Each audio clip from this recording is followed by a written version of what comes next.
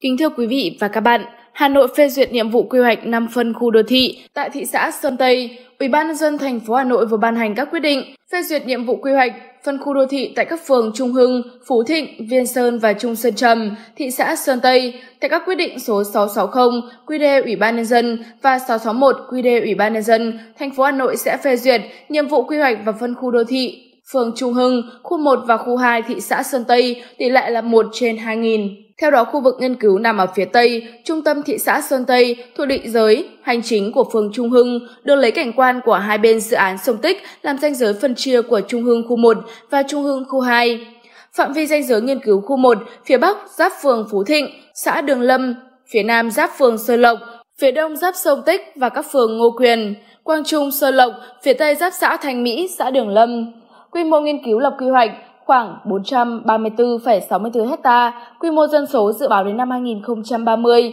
là khoảng 23.355 người.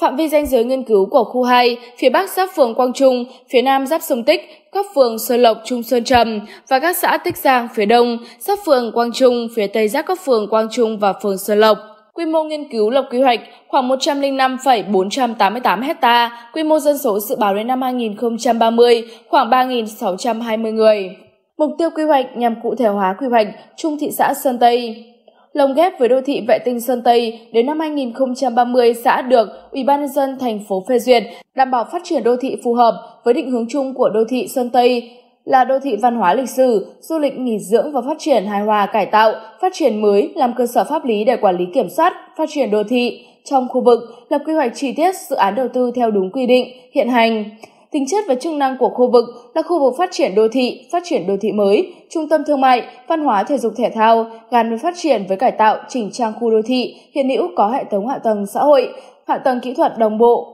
khai thác có hiệu quả đầu mối giao thông công cộng với đường sắt đô thị theo mô hình TOD, phát triển với các không gian công cộng, quảng trường không gian mở, thương mại dịch vụ ưu tiên để phát triển du lịch, lễ hội truyền thống gắn với bảo tồn và phát huy giá trị không gian khu vực đèn và khuyến khích phát triển hỗ trợ, phát triển các khu đô thị và nhà ở theo hướng xanh, hiện đại và thông minh.